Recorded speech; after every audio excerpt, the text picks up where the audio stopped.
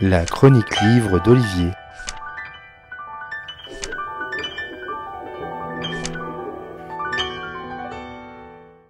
Quelles concessions sommes-nous prêts à faire pour euh, justement se faire une place dans la bonne société? D'aucune sorte, je ne serai prêt à me dévoyer, à me mentir pour correspondre aux attendus sociétaux. Les ors de la position sociale ne semblent pas avoir de prise sur eux. Mais pour d'autres, sans leur faire de procès, saisir l'opportunité pour monter les échelons de la classe sociale afin de parvenir au niveau rêvé, ce n'est pas un crime de lèse-majesté. Ces aménagements avec ces valeurs sont légion. Après, tout est question de mesure, de proportion et d'acceptation.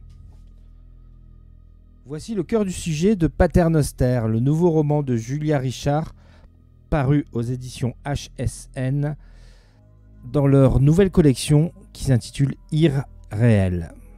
Dana ne demande pas grand-chose, juste réussir sa vie, avoir de meilleures conditions que sa mère, célibataire, vivant en HLM.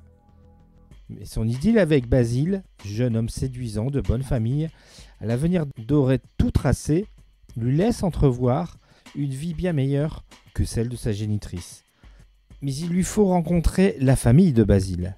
Homer le père, Clara la mère, mais aussi le frère cadet, fantasque, ex-popstar éphémère.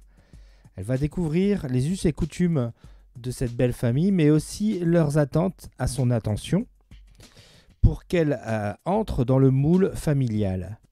Elle est loin d'imaginer ce qu'elle devra concéder pour se fondre dans son nouvel environnement. Va-t-elle tout accepter? Les éditions HSN ouvrent le label IR réel, IR plus loin réel, avec ce roman pour évoquer dans cette collection des thématiques sociales et sociétales. Et c'est le cas avec le thème à la fois de la position sociale des individus et la pression consciente ou inconsciente qu'il ou elle s'impose pour atteindre l'échelon désiré.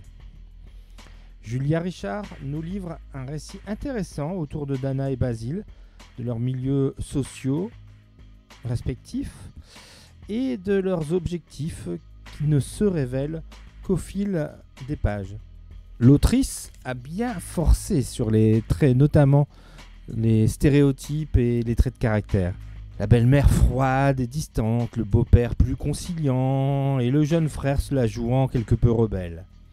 Au-delà de ces facilités, le reste du récit mérite votre intérêt pour questionner votre seuil d'acceptation, les capacités de chacun à composer avec ses valeurs et ses représentations pour trouver son point d'équilibre, sans oublier qui on est ou d'où l'on vient, ou alors l'inverse, complètement oublié. Sans être un thriller haletant, Paternoster reste un roman à lire pour les questions qu'il soulève. Alors, ne vous faites pas prier, lisez-le. Voilà donc pour ce euh, roman de Julia Richard dont le titre, je vous le rappelle, est Paternoster. C'est paru aux éditions HSN sur leur label IR Réel. IR plus loin, tiré réel, R 2EL. Bonne lecture et à bientôt. C'était vraiment très intéressant.